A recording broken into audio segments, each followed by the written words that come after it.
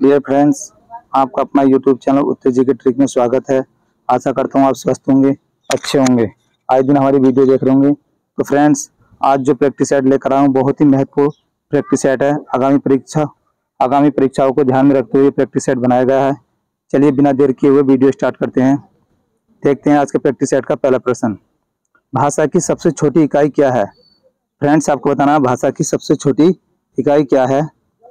तो ये ऑप्शन में है बड़ बी में है ध्वनि सी में है शब्द और डी में है वाक्य। तो इसका सही आंसर होगा हमारा बड़ चलिए फ्रेंड्स अगला प्रश्न देखते हैं।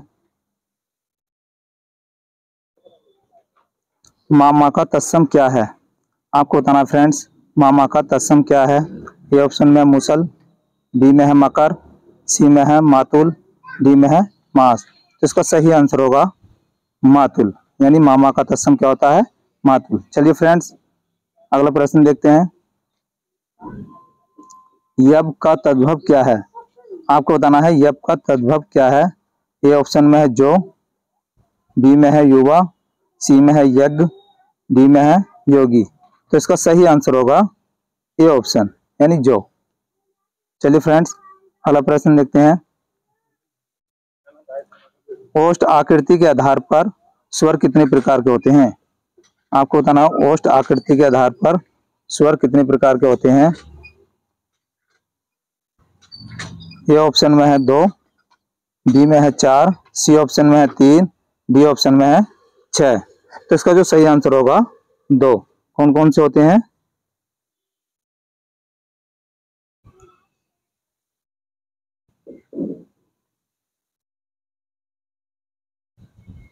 यानी इसका सही आंसर होगा दो। कौन कौन से होते हैं? एक हो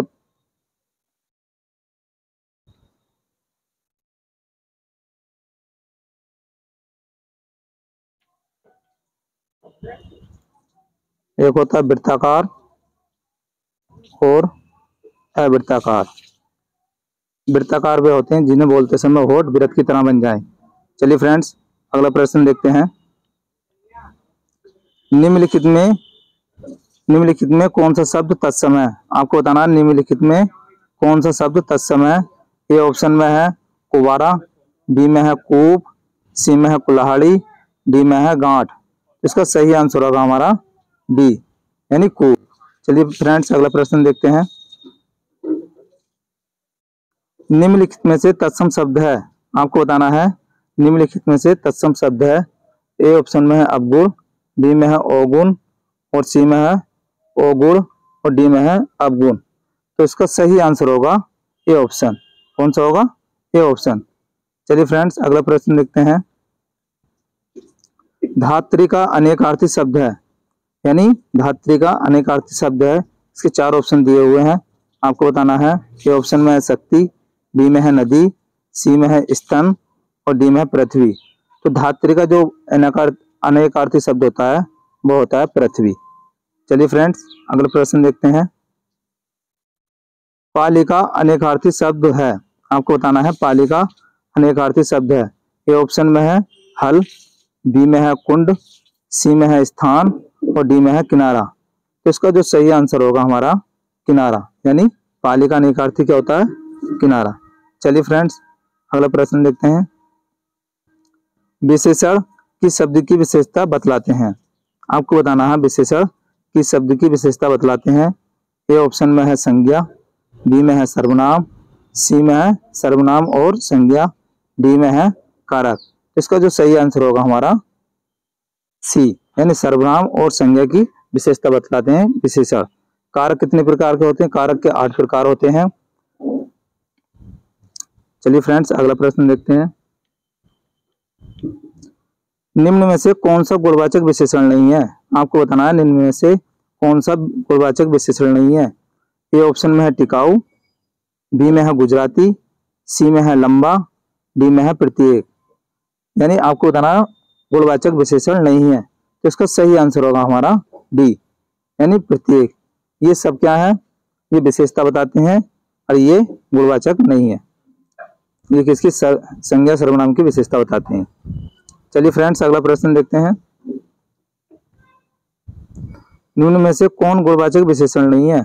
आपको बताना है, निम्न में से कौन गुणवाचक विशेषण नहीं है? ए ऑप्शन में है बहुत बी में है निचला सी में है चमकीला डी में है दुबला। तो इसका सही आंसर होगा हमारा ए ऑप्शन होगा बहुत। और ये क्या है सब? ये हमारे गुणवाचक हैं। किसी वस्तु का गुण या दोष बताते हैं। चलिए, अगला प्रश्न देखते हैं फ्रेंड्स गहरा काला कुत्ता भोंक रहा था। यानी गहरा काला कुत्ता भोंक रहा था। वाक्य में कौन सा पदबंध है?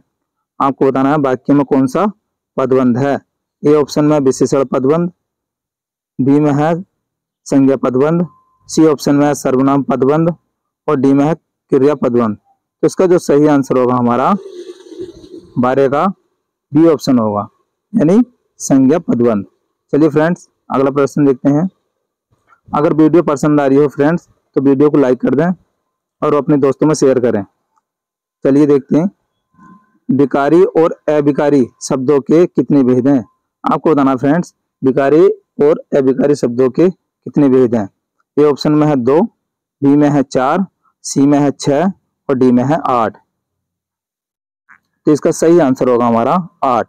विकारी क्या होता है? विकारी के भी चार होते हैं और इसके भी चार होते हैं।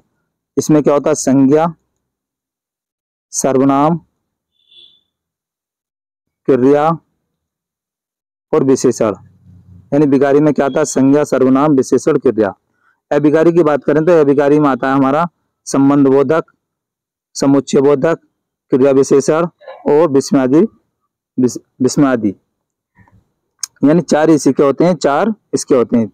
इसने पूछा विकारी और अभिकारी शब्दों के कितने भेद होते हैं? तो दोनों को मिलाकर कितने होते हैं? आठ। विकारी में परिवर्तन हो सकता है और अभिकारी में परिवर्तन नहीं होता है। जैसे कि अवसर्ग जोड़ा है, इसका संकेत होता है नहीं। यानी इसमें परिवर्तन नहीं हो सकता और इस विकारी में परिवर्तन होता है। चलिए फ्रेंड्स, अगला प्रश्न देखते हैं। भारत में सर्वाधिक बोले जाने वाली भाषा, यानी भारत में सर्वाधिक बोले जाने वाली भाषा कौन सी है? बतानी है आपको। ए ऑप्शन में है हिंदी, बी में है संस्कृत, सी में है तमिल, डी में है उर्दू। तो इसका जो सही आंसर होगा, हमारा होगा ए ऑप्शन। यानी हिंदी सबसे ज़्यादा बोली जाती है और कितने राज्यों में बोली जाती है? दस राज्यों में बोली जाती है। कितने लोग बोलते हैं? साठ करोड़। यानी साठ करोड़ लोग इसमें बोलते हैं। चलिए फ्रेंड्स, अगला प्रश्न देखते हैं। भारत की पहली शास्त्रीय भाषा है आपको बताना, भारत की पहली शास्त्रीय भाषा है। ए ऑप्शन में हिंदी, बी ऑप्शन में है संस्कृत, सी ऑप्शन में है तमिल और डी ऑप्शन में है उड़िया। अगर इसका सही आंसर देखें हम पंद्रह का तो इसका सही आंसर होगा हमारा तमिल। यानी भारत की पहली शास्त्रीय भाषा कौन सी है? तमिल, ये पुरानी भाषा है सबसे। और नवीनतम कौन सी है? ये कौन सी है? नवीनतम। नवीनतम। उड़िया क्या हमारी? नवीनतम है। चलिए फ्रेंड्स, अगला प्रश्न देखते हैं। पर्वत का पर्यायवाची शब्द है। आपको बताना है, पर्वत का पर्यायवाची शब्द है। ए ऑप्शन में है सेल, बी ऑप्शन में है मही, सी ऑप्शन में पत्थर और डी ऑप्शन में है हो तो पर्वत का सही आंसर, सही पर्यायवाची होगा ए ऑप्शन, यानी सेल। चलिए फ्रेंड्स, अगला प्रश्न देखते हैं। गंगा का पर्यायवाची शब्द कौन सा है? आपको बताना है गंगा का पर्यायवाची शब्द कौन सा है? ए ऑप्शन में भागीरथी, बी ऑप्शन में तरंगिनी, सी में है टटनी और डी में है अपगा। यानी इसका जो सही आंसर होगा हमारा ये ऑप्शन होगा भागीरथी। ये गंगा का पर्यायवाची है। चलिए फ्रेंड्स, अगला प्रश्न देखते हैं। धातु के बाद लगने से पूर्व, पूर्वकालिक क्रिया बनती है। आपको बताना है, धातु के बाद लगने से पूर्वकालिक क्रिया बनती है। ये ऑप्शन में है या बी ऑप्शन में है कर, सी ऑप्शन में है आ और डी ऑप्शन में है चुका। तो इसमें सही, इसका सही आंसर होगा, यानी कर। जैसे धातु में खा क्या है? धातु है खा कर ठीक है? चलिए फ्रेंड्स, अगला प्रश्न देखते हैं।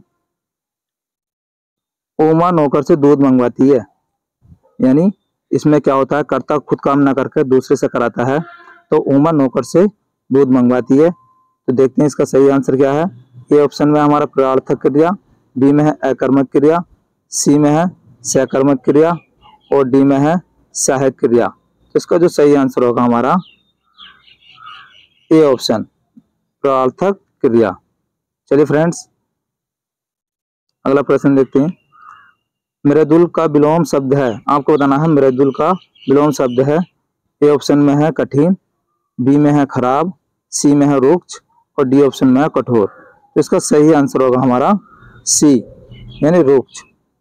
चलिए फ्रेंड, अगला प्रश्न देखते हैं। प्रोक्ष का विलोम शब्द क्या होगा? आपको बताना है प्रोक्ष का विलोम शब्द क्या होगा? ए ऑप्शन में हमारा स्थूल, बी ऑप्शन में प्रत्यक्ष, सी ऑप्शन में हमारा अप्रोक्ष, और डी में है द्रव्य। तो इसका जो सही आंसर होगा हमारा बी ऑप्शन होगा, यानी कौन सा होगा? बी ऑप्शन, प्रत्यक्ष। यानी प्रोक्ष का विलोम क्या होता है? प्रत्यक्ष। चलिए फ्रेंड्स अगला प्रश्न देखते हैं। निम्न में से दीर्घ संधि का उदाहरण है। आपको बताना निम्न में से दीर्घ संधि का उदाहरण है। ए ऑप्शन में हमारा महर्षि, बी ऑप्शन में है देत्यारी, सी ऑप्शन में है सूर्योदय और डी ऑप्शन में है देवेंद्र। तो इसका जो सही आंसर होगा, बी ऑप्शन होगा देत्यारी। ये क्या है? गुण संधि का उदाहरण है।